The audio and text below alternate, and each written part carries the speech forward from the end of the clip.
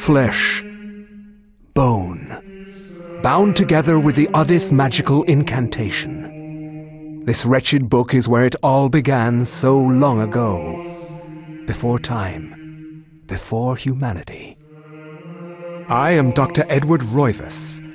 I am a clinical psychologist. I am also dead. This is not my story, nor even the story of the Roivas family. It is the story of humanity.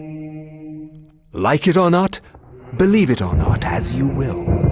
Your perceptions will not change reality, but simply color it. Humanity has been on the edge of extinction for two millennia, ignorant of so much and dependent on so few. The Guardians grow restless. Their time once again near. Whether by fate or misfortune, my family has crossed their path, and they didn't take kindly to it. Their attention turns to my granddaughter, for she is the last of my line, and the last hope for humanity.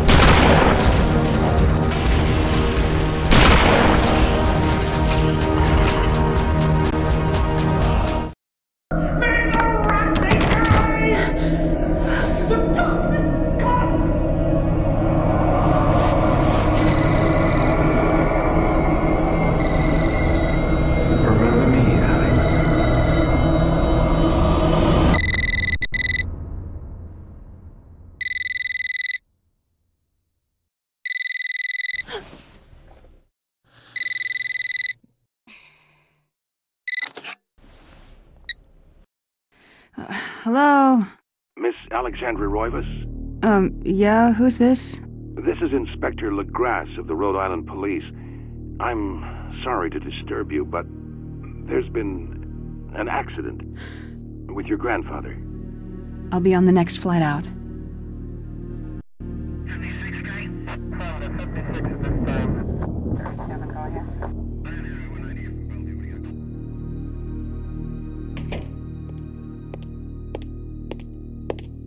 Ah, Miss Roivas.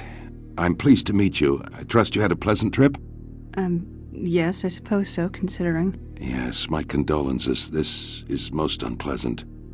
It's a shame we couldn't meet under brighter circumstances. Yes, it is. Can we get this over with, please? Of course, uh, this way. But I must warn you, it's not a pleasant sight. I'm afraid there's not much to see.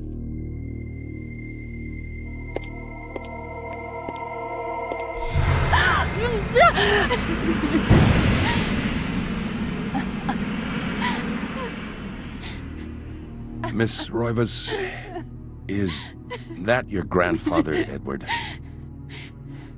Yes, it's him. He's wearing our family ring. I don't understand. Why are you showing me this? Can't you check dental records or something? What is wrong with you? I'm. I'm sorry. It's my job, lady. You're the only living relative, and no, we can't check dental records. There's no head. Ah, none of this makes sense. There's no sign of intrusion, and there was certainly a lot of force used here. I have never seen anything like this in my 20 years on the force. We have no evidence except for the body, and what's left doesn't say much. Ah, we don't have a single clue. Well, you better find out who did this. I'm not leaving Rhode Island until you do.